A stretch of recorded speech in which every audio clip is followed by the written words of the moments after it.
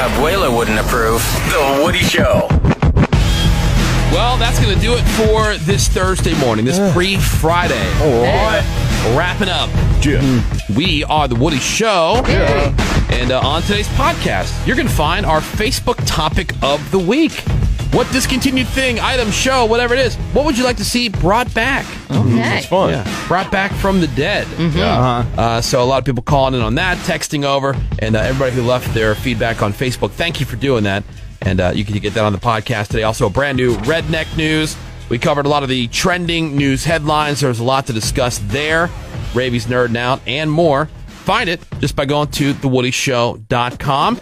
Uh, guess what, everybody? What? If today's a pre-Friday, that means that tomorrow is actual Friday. And uh, we got the Friday fail stories for you. Going to do the DUIQ Redneck News Story of the Week. Going to need your votes for that. We're into the uh, last couple weeks of uh, new nominees for that, so you'll decide who moves on into the playoff round.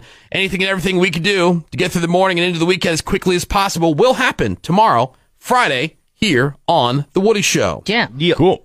Uh, Cameron, thank you for your show. Thank you for your show, Woody. Ravy, Menace, Bass, anything you'd like to add? That is it. All right, Greg Gorey, parting words of wisdom, please. Yeah, it's better to arrive late than ugly. Well, one thing you could do something about yeah. the late part. Not being late. Sucks if you're late and ugly. Yeah, well, yeah. Yeah. I live that a lot. Yeah. Oh, yeah. All right. Thank you very much, Greg Gorey. Yeah, Woody. Thank you so much for giving the Woody Show some of your valuable time this morning. You know, we love and appreciate you for that. rest of you guys can suck it. Catch you back here on Friday. Have a great day.